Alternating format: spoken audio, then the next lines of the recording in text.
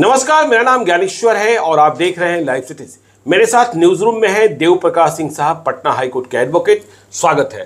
देव प्रकाश जी, आज supreme court ने एक बड़ा फैसला सुनाया, संविधान पीठ ने, पाँच जजों की पीठ ने।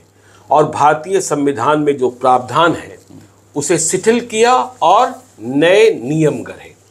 और अब तो ऐसा लग रहा है कि तलाक कितने कितने साल मुकदमे चलते थे। शादी हो गई पति पत्नी में विवाद हो गया, लेकिन मुकदमा घसीटता रहता था, घसीटता रहता था। लेकिन सुप्रीम कोर्ट ने कहा कि देखिए, जब मियाँ बीबी दोनों एक दूसरे को छोड़ने को तैयार हैं तो देर करने की ज़रूरत क्या है? दे दीजिए तलाक। तो क्या अब फटाफट तलाक हो जाएगा? कोई वक्त नहीं लगेगा? और जो आपस में झगड़ रहे हैं, अलग रहना चाहते हैं, वे आज़ादी से रह सकेंगे? ऐसा नहीं फटाफट तलाक हो जाएगा ऐसी बात नहीं है। जी। जो मुख्य बात जिस पर अभी ये सुप्रीम कोर्ट का जो जजमेंट हुआ है फाइव जज बेंच कंस्टिट्यूशनल बेंच का जी। वो जजमेंट इस बात पर हुआ है कि जब दोनों पक्ष पति और पत्नी लिख करके आपसी सहमति दे देते हैं क्लॉज ये मैरिज हिंदू मैरिज एक्ट के सेक्शन थर्टीन बी में वैसे हालात में भी एक नियम लगा हुआ है कि फ़र्स्ट मोशन अगर होगा मोशन मतलब फ़र्स्ट एप्लीकेशन जब फ़ाइल करेंगे ये कहाँ तो फ़ाइल होगा? Family court family court family court में। अब भी? अभी। जी। तो फ़र्स्ट मोशन जब करेंगे तो छः महीना कूलिंग ऑफ़ पीरियड है। देखिए अपने यहाँ हिंदू मैरिज में क्या माना गया है कि मैरिज दो आत्माओं का मिलन है। जन्म जन्मांतर तक साथ लोग रहते हैं। इसका केवल एक दैहिक पक्ष ही नहीं है प्रोक्रिएशन ही नहीं पक्ष है। इसका पक्ष एक एक धार्मिक पक्ष भी है कि दो व्यक्ति साथ भगवान के यहाँ से कहता है मैरिज और मेड इन हेवन इस थ्योरी को लेकर हिंदू मैरिज एक्ट बना है। लेकिन अब जब कालांतर में ऐसा देखा जा रहा है कि पहले तलाक की कहानी एक दो कहीं सुनी जाती थी कि एक दो हो रहा है, किसी में डिफरेंस हो गया। अब ये बरमहल हो रहा है और ऐसा हो रहा है कि 40 टू 50 परसेंट मैरिज ब्रेक कर रहे हैं, जो नए मैरिज बन रहे हैं। चूँकि एक बात ये आई है कि लड़कियों को पढ़ाया जा रहा है, लड़कियाँ इकोनॉमिकली इंडिपेंडेंट हो रही हैं और पुरुष मानसिकता जो है रूल करने का, शासन करने का, लड़की घर काम करके भी आए तो भी घर में आके खाना बनाए, पति की सेवा करे, घर की सफ़ाई करे, जो अब करने को तैयार नहीं है। इन हालात में प्लस उसमें और भी बहुत सारे कारण हो रहे हैं। कहीं कहीं तो ओवर बियरिंग भी हो जा रही है इस बात को जिस कारण से फैमिली डिस्कॉर्ड हो रहा है। आफ्टर मैरिटल रिलेशनशिप भी काफ़ी खराब हो रहा है और खराब होने में क्या होता है कि मामला है कि दो आदमी व्यक्ति में पटरी नहीं खा रहा है। जी। लेकिन हो क्या रहा है कि अलग कई एक ढंग के केस हो जाएँगे। दहेज प्रथा का केस हो जाएगा क्रुएल्टी का केस हो जाएगा लोग रिट में चले जा रहे हैं।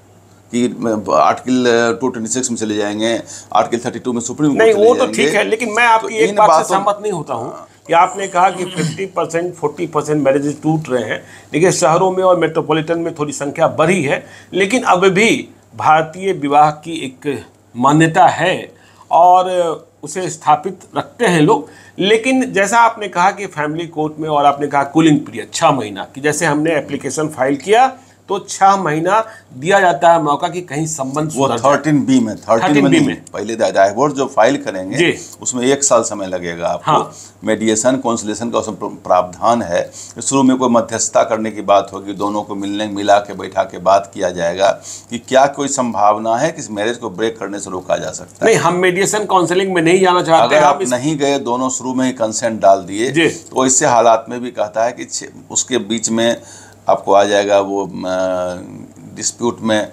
एलिमोनी आ जाएगा। मेंटेनेंस आ जाएगा। बच्चे अगर हुए हैं तो बच्चों का कस्टडी किसके पास रहेगा? ये तीन बार डिसाइड करेंगे उसके बाद थर्टी अच्छा ये तीन जो चीज़ें आपने कहा एलुमनी की बात कही संपत्ति की बात कही बच्चों की बात कही ये डिसाइड कौन करेगा? कोर्ट करेगा। कोर्ट करेगा। कोर्ट करेगा। अगर अच्छा। आप आप सहमति से कर दिए तो बहुत अच्छी बात है। हाँ। करना ज़्यादातर सेटलमेंट ही करते हैं आपस में। अगर आपसी सहमति से दोनों आदमी सहमत हो गए तब तो ठीक है। नहीं सहमत हुए तो कोर्ट करेगी बात डिसाइड नहीं अब ये हमें बताइए और ये तीनों चीज़ डिसाइड हो जाएगा तभी थर्टीन भी आप कर सकते हैं। नहीं यदि ये तीनों चीज़ पति पत्नी ने डिसाइड कर लिया एलुमनी भी डिसाइड कर लिया संपत्ति का बंटवारा भी कर लिया बच्चों के बारे में फैसला कर लिया उसके बाद उन्होंने तलाक की अर्जी दायर की तो आज सुप्रीम कोर्ट ने जो कहा है उसके मुताबिक क्या फटाफट हो जाएगा? सुप्रीम कोर्ट ने केवल कहा नहीं आर्टिकल 142 में कहा है। जी। आर्टिकल 142 में कही हुई बात जैसे पार्लियामेंट से निकला हुआ एक्ट है उस वो लेवल प्राप्त है। कि वो कानून हो गया और पूरे देश में लागू हो गया। अब वो ऐसी बातें जज को कहा गया है जो जज बैठेंगे फैमिली कोर्ट में वो अपने विवेकाधिकार में यह निर्णय लें। इन बातों को देखते हुए alimony custody of children and maintenance इन बातों को देखते हुए और इस संभावना को भी देखते हुए कि किसी भी हालत में मैरिज को बचाया नहीं जा सकता। एक वर्ड यूज़ किया इरिट्रीवेबल मैरिज जिस मैरिज को अब दोबारा बचाया नहीं जा सकता है अब टूटना ही टूटना है अगर बचा के रखेंगे तो और गलत फलत केस आप मुकदमा आपस में होते रहेंगे और रंजिश बढ़ता रहेगा और उन लोगों का जीवन नरक बनता रहेगा। तो वैसे केस में जज को विवेकाधिकार दिया गया है कि आप जो इस कूलिंग पीरियड से बंधे हुए हैं जिसका मिनिमम छः महीना है और मैक्सिमम अठारह महीना है उससे आप निकल जाइए आप हो तो जल्दी डिसाइड कर दीजिए। मतलब अब छह महीना और अठारह महीना इंतज़ार करने का ज़रूरत नहीं है। हाँ ठीक है। ये पहले भी घोषणा हुआ था। आपको वो अमरदीप वाले केस में जी। हमें याद है कि लेकिन आज तो संविधान पीठ का फैसला हो गया ना। आज तो संविधान पीठ का पहले वो भी लागू हुआ था। जी। एक अमरदीप सिंह वाले केस में फैसला हुआ था इसी ढंग का आज तो संविधान की बात हो गई लेकिन मैं एक बात समझना चाहता हूँ अमरदीप। सिंह भरसे हरबीन हरबीन कौर जी ये 2017 में डिसीज़न हुआ था कि आप इस बात के लिए बंधन में नहीं बंध लेंगे आज जो फैसला हो गया वो फैसला वो मुकदमा छः साल से चल रहा था। उसको उन्होंने वहीं डिजॉल्व कर दिया 142 में और कहा कि अब ये कानून उन्होंने बना दिया कि अब आप इस कूलिंग ऑफ़ के पीरियड के लिए वेट ना करें। अगर देखें कि मैरिज इरिट्रेबल हो गया है इस मैरिज को संभाला अब नहीं जा सकता है।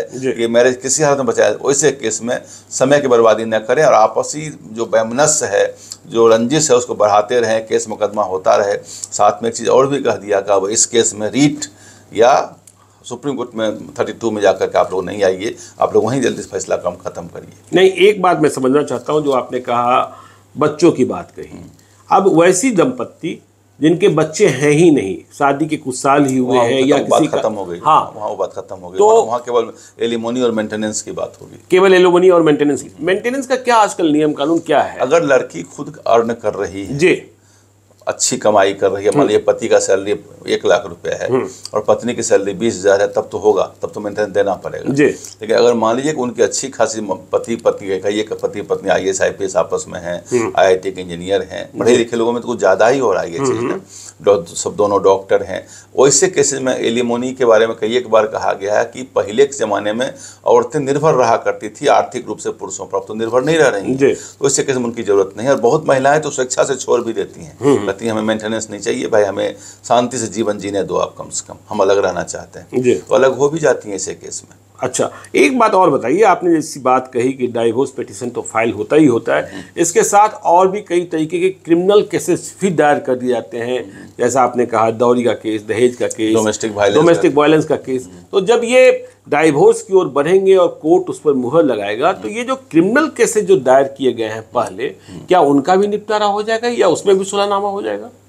नहीं ऐसा नहीं है। वो सब निपटारा होने के बाद ही डाइवोर्स फाइव का अच्छा, होगा। ऐसा हाँ। नहीं वो सब निपटारा जब तक नहीं होगा हाँ। डाइवोर्स नहीं हो डिक्लेयर कर दिया जाएगा। डाइवोर्स डिक्लेयर कर तो बात बाकी खत्म हो जाएगी। मतलब डोमेस्टिक वायलेंस तो क्रिमिनल एक्ट हो गया। और उस डोमेस्टिक वायलेंस क्रिमिनल भी है और सिविल एक्ट भी है। उसमें भी आपको बंटवारा ज़मीन का मकान का सबका उसमें होता है। तो डोमेस्टिक वायलेंस में या 498 ए में या क्रुएल्टी वाले केस में अब तो वो मेंटल वाला भी डाल दिया कि मेंटल क्रुएल्टी वाला केस तो बाद में आया है। शुरू में ऐसा भी है कि अगर आप विवाहेतर संबंध बनाते हैं।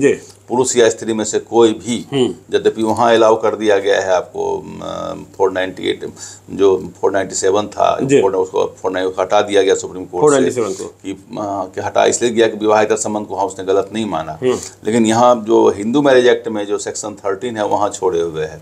अगर कोई पति पत्नी साबित कर दे कि हमारा पति दूसरे स्त्री के साथ रहता है या पत्नी साब- पुरुष साबित कर दे कि मेरी पत्नी का दूसरे पुरुष संबंध है तो यही ग्राउंड काफ़ी होगा तलाक के आधार तलाक लेने के लिए। तो आपने सुना देवप्रकाश सिंह साहब से कि जो आज सुप्रीम कोर्ट का फैसला आया है इसके बाद वैसे लोग जो तलाक चाहते हैं उन्हें कितनी राहत मिली है? समय कम लगेगा। समय कम लगेगा समय कैसे कम फटाफट होगा? और किन चीज़ों की तैयारी कर आप जाएँगे तो तलाक जल्दी मिल जाएगा लेकिन एक नेक सलाह यदि आपने शादी की है सात फेरे लिए हैं तो उसे निभाइए, क्योंकि यह एक पवित्र बंधन है।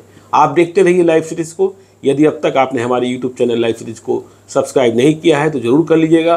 और यदि इस वीडियो को आप फेसबुक पेज के माध्यम से देखें तो पेज को लाइक कीजिएगा। ट्विटर पर भी मैं फॉलो कीजिए। धन्यवाद।